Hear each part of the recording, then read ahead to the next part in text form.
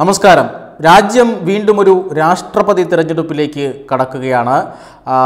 അടുത്ത മാസം പതിനെട്ടിനാണ് ജൂലൈ മാസം പതിനെട്ടാം തീയതിയാണ് രാഷ്ട്രപതി തിരഞ്ഞെടുപ്പ് നടക്കുക.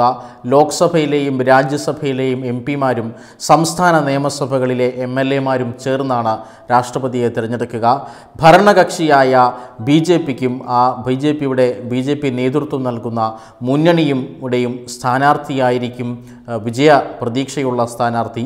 തീർച്ചയായിട്ടും എൻ ഡി എക്ക് സ്ഥാനാർത്ഥിയെ സ്വന്തം സ്ഥാനാർത്ഥിയെ വിജയിപ്പിച്ചെടുക്കാനുള്ള കേവല ഭൂരിപക്ഷം തീർച്ചയായും നിലവിലെ ഒരു അംഗസംഖ്യ അനുസരിച്ചില്ല ഏതാണ്ട് പതിമൂന്നായിരം വോട്ട് മൂല്യത്തിന്റെ കുറവ് ഉണ്ട് എന്നാണ് കണക്കാക്കപ്പെടുന്നത്.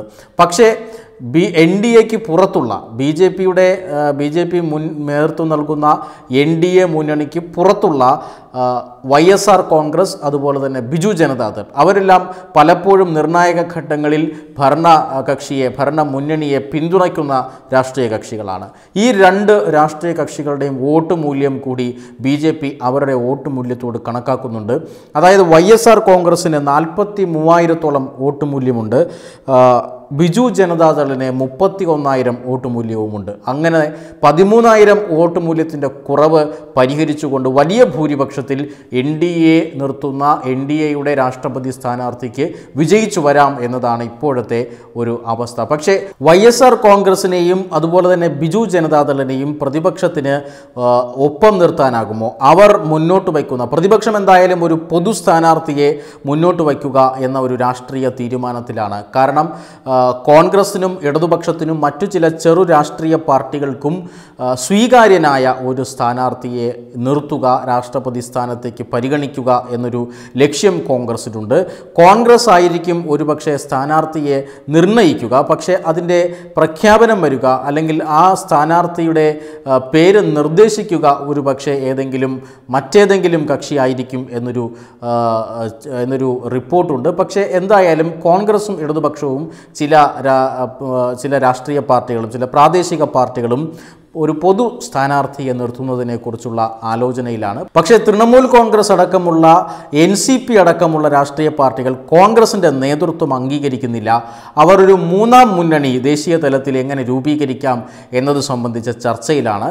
എന്തായാലും അതുകൊണ്ട് തന്നെ പ്രതിപക്ഷ നിരയിൽ വിള്ളലുണ്ട്. ഈ വിള്ളൽ ബി ജെ പി മുതലെടുക്കും. ആ തീർച്ചയായിട്ടും ബി ജെ പിയുടെ സ്ഥാനാർത്ഥിക്ക് തന്നെയാണ് നിലവിലെ രാഷ്ട്രീയ സാഹചര്യം അനുസരിച്ച് വിജയസാധ്യതയുള്ളത്. പക്ഷേ കഴിഞ്ഞ തെരഞ്ഞെടുപ്പിൽ കഴിഞ്ഞ രാഷ്ട്രപതി തെരഞ്ഞെടുപ്പിൽ രാംനാഥ് കോവിന്ദിനെ വളരെ വ്യക്തമായ ഭൂരിപക്ഷത്തിൽ വിജയിപ്പിച്ചെടുക്കാൻ അന്ന് എൻ ഡി എക്ക് സാധിച്ചിരുന്നു. പക്ഷേ അന്നത്തെ രാഷ്ട്രീയ കാലാവസ്ഥയല്ല ഇന്ന്. ശിവസേന എൻ ഡി എക്ക് പുറത്താണ്. അതുകൂടാതെ തന്നെ ചന്ദ്രബാബു നായിഡുവിന്റെ പാർട്ടി പുറത്താണ്.